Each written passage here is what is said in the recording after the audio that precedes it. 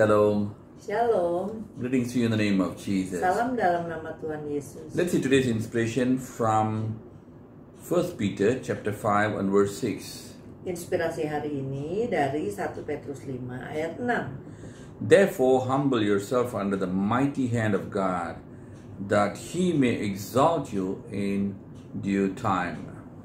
Karena itu, rendahkanlah dirimu di bawah tangan Tuhan yang kuat, supaya kamu ditinggikannya pada waktunya.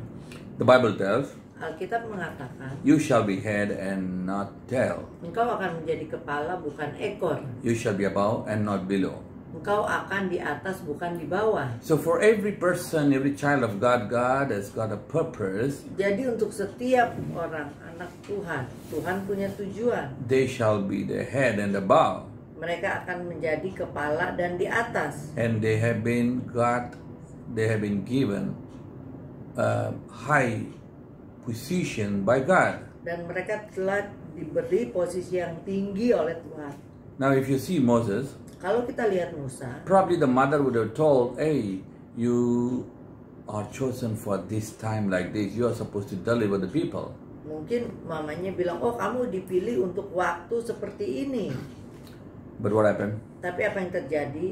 Moses, Musa before the time came, sebelum waktunya tiba, he killed the Egyptian dia membunuh orang and Mesir, then he had to run for his life. dan dia harus melarikan diri, menyelamatkan diri. So he cannot be in the place where he has to be at the time of deliverance. Jadi dia nggak bisa ada di tempat di mana seharusnya dia menjadi orang yang membebaskan.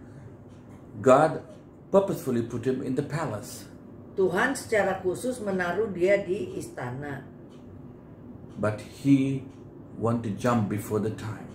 tapi ia ingin melompat sebelum waktunya.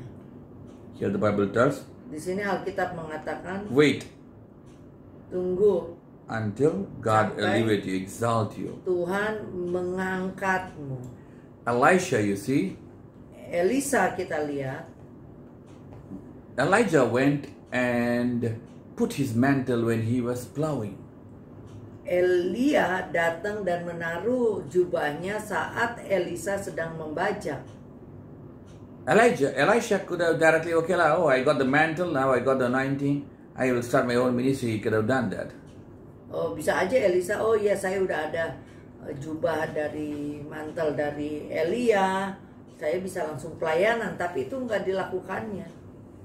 Paul did that. Paulus melakukan itu. When Jesus appeared to him Saat Tuhan Yesus menampakkan diri kepadanya, directly, langsung he wanted to do the ministry. dia mau melakukan pelayanan. God said, Tuhan katakan, You have learned so many wrong things, you have to unlearn things. So you go and wait three years in Arabia.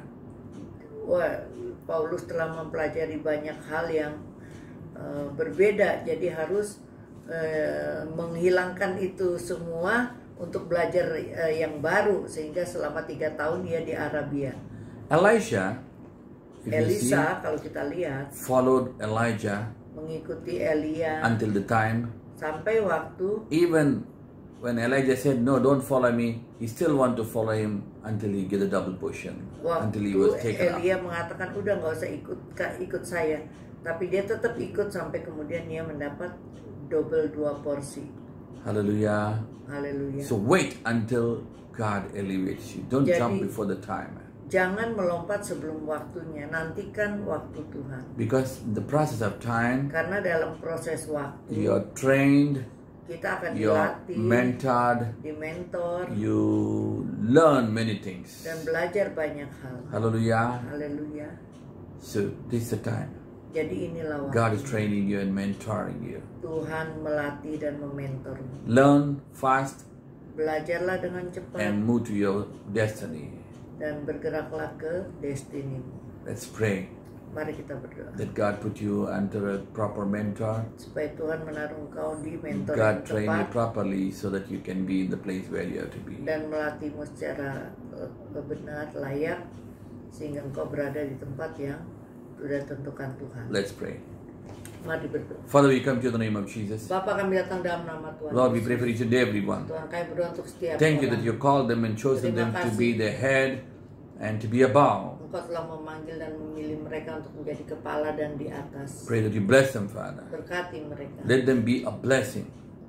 Biarlah mereka menjadi berkat. Train them, Latih mereka, teach them, and mentor them ajar dan mentor so that they mereka. can move to the place where you kept for them. Sehingga mereka bisa bergerak ke tempat di mana engkau mau menempatkan In the mereka. name of Jesus, Demi nama Tuhan Yesus. they shall be head Biarlah and they mereka shall be menjadi above. kepala dan di atas. In the name of Jesus, we pray. Demi nama Tuhan Yesus kami berdoa. Amen. Amin, Amen. amin. God bless you. God Tuhan bless Yesus you. memberkati.